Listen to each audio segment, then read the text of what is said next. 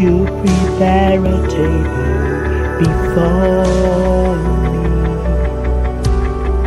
in the presence of my enemies. You anoint my head with oil, my cup overflows. Surely goodness and love will follow me